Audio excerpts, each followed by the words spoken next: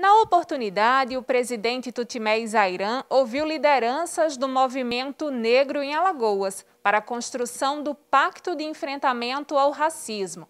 O chefe do Poder Judiciário apresentou o projeto, que vai unir forças com diversas entidades para tentar combater as maiores e mais comuns práticas de racismo em instituições públicas e empresas privadas em Alagoas.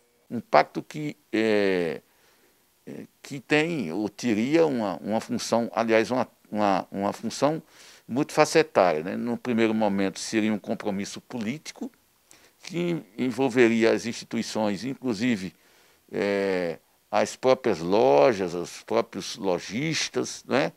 e, e, e também os, as, as empresas de segurança, que é quem fornece o material humano é, para essas, essas lojas, né? Material humano esse que, é, por razões conhecidas, é impregnado de, de, de conceitos racistas. Né?